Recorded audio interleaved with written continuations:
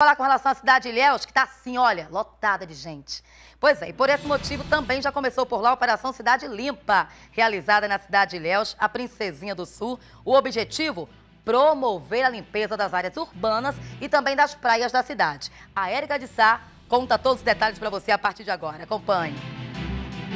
Funcionários da limpeza pública de Ilhéus estão recolhendo lixo das principais avenidas e bairros. A Operação Cidade Limpa começou no dia 2 de janeiro e inclui a coleta de lixo doméstico, entulho e limpezas de jardins e das praias. O trabalho começa às 7 horas da manhã. Uma média de 200 profissionais se espalham em vários pontos para manter a cidade limpa. Entre os equipamentos utilizados estão roçadeiras e essa motoniveladora, que é utilizada no recolhimento do lixo acumulado na areia das praias.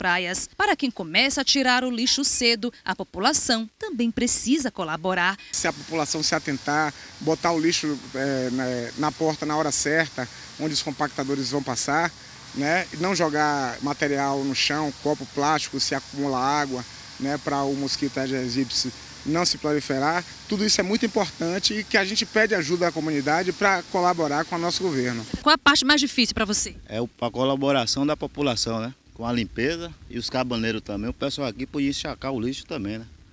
Para ajudar a gente também.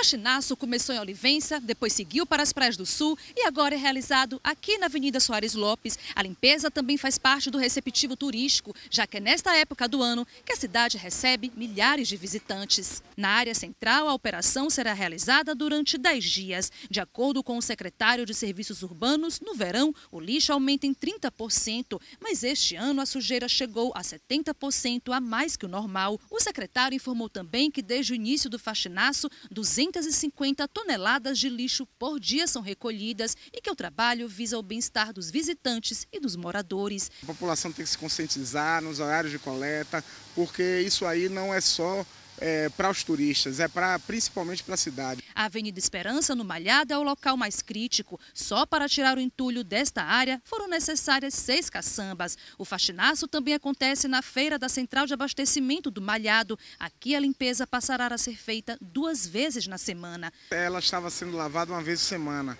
É, a partir de agora vai ser lavada duas vezes por semana e nós vamos aumentar o número de efetivo de funcionários fazendo deslocamento de funcionários cedidos a outras secretarias para que retornem para trabalhar na feira, porque hoje tem uma quantidade muito pequena de funcionário para dar conta de tanto serviço que tem aqui para executar.